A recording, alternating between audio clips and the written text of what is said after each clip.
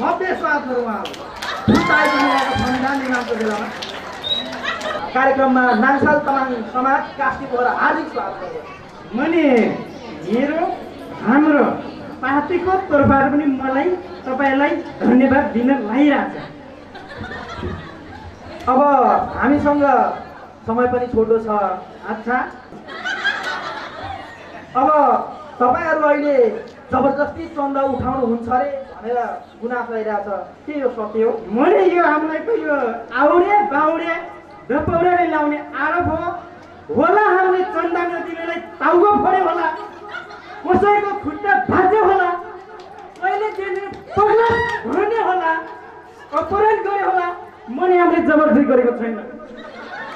तपाईँले यो पार्टीको नेतृत्व गर्दै हुनुहुन्छ तर तपाईँले कति पढ्नु भएको मैले आइकम बिकम सिकम दसमा आठ कम अब अन्त्यमा तपाईँको एउटा चर्चित ग्रुप वाइसिएल भन्ने छ यो वाइसिएलको पुरा अर्थ के होला? वाइसेलको पुरा अर्थ यो लाइफ धन्यवाद। तपाईँहरूलाई पेट मिची मिची हँसाउनको निमित्त हामीमा यतिखेर पाँडे टुप्लुक आइपुग्नु भएको जानकारी मलाई प्राप्त भएको छ।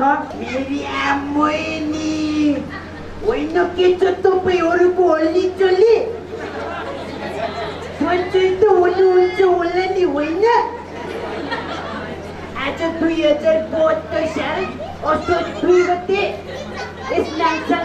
समाजले आयोजना गरेको कार्यक्रममा यहाँहरूलाई हार्दिक स्वागत गर्दछु। आमोइनी होइन यो कार्यक्रम अघि बढाउन भन्दा पहिले म एउटा सूचना चाहिँ जाहेर गर्न चाहे है मेरो सूचना के छ भन्दाखेरि मा तपाईँहरूले आफ्नो दाँत कसरी बचाउने दुईवटा उपाय छन् एउटा उपाय चाहिँ के छ भन्दाखेरि जे पायो त्यही खानेकुराहरू नखानु अर्को कुरा के हो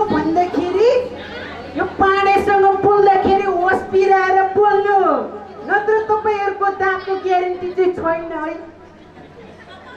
यो म एउटा अर्को कुरा जोड्न चाहेँ एउटा सायरी पनि भन्न चाहेँ तिमी अचार भए म प्रिय त्यसमा हुने अमिलो तिमी अचार भए म त्यसमा हुने अमिलो तिमी चिनी भए म त्यसमा हुने कमिलो यसै सन्दर्भमा भनौँ कुरा के छ भन्दा एसएलसीलाई हामी सबैले के भन्छ त भन्दा म के भन्छु?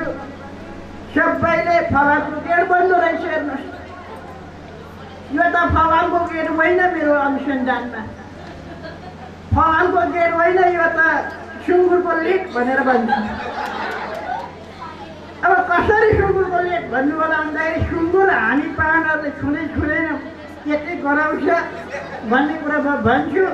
फलामको गेट हो भने त करौतीले बेचेर पनि हामी त्यसलाई पार गर्न सक्छौँ जस्तो लाग्छ। अब त्यो लेकै भइसकेपछि त न काट्न मिल्छ न चाट्न मिल्छ